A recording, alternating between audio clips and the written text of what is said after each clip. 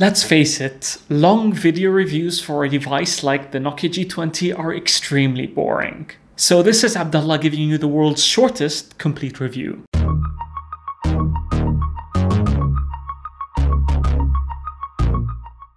The hardware build quality is excellent.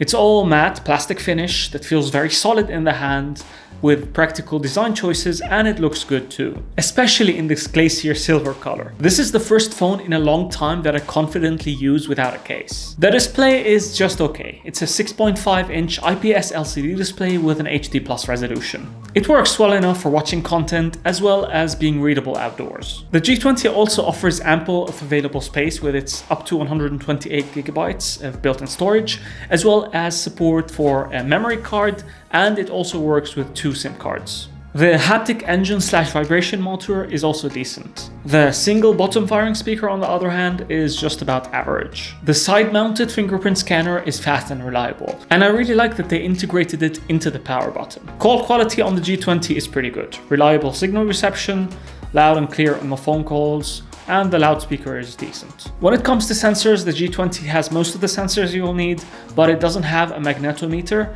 so you won't be able to utilize any compass applications. As for the cameras, the 48 megapixel main camera on the G20 is very good for its class. It's also acceptable in low light thanks to night mode. The other three cameras, 5 megapixel ultra wide camera, 2 megapixel macro camera, are just there for variety, but their quality is quite mediocre. Portrait images are decent with good subject separation, and the selfies are quite decent too. Video quality on the other hand is just so-so. It's limited to 1080p, and there is no software stabilization, so the end results are most likely going to be shaky. The audio recorded though is quite good because it utilizes Ozo Audio, which uses two mics to cancel any background noise and wind and amplify voices. When it comes to performance, the MediaTek Helio G35 is quite weak. The G20 is not very fast and it's also not very smooth.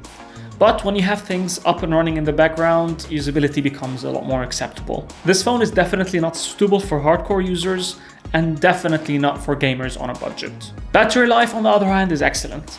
It has a 5050 milliamp big battery capacity that will be able to last you up to 3 days with minimal usage and up to 2 days with hardcore usage. So you'll get between 10 and 12 hours of screen on time with excellent standby times. The G20 is running on Android 11 as a part of the Android One program. The OS is lightweight, mostly bloat free, and very minimal. It will also give you 2 years of software updates and 3 years of security updates, which is nice. In conclusion, avoid the G20 if you're a power user or a gamer on a budget. Go for this if you don't spend too much time on your phone, want a phone that does the basics well, has a decent camera, has good software support, and excellent battery life and build quality. That's all, thank you very much for watching. You can also check out my unboxing video of the G20 and my other video comparing the G20 against the 504. So, what do you guys think about this short video format? Let me know in the comments down below. As always, don't forget to like this video and subscribe to my channel if you're enjoying my content, and I shall see you in the next one.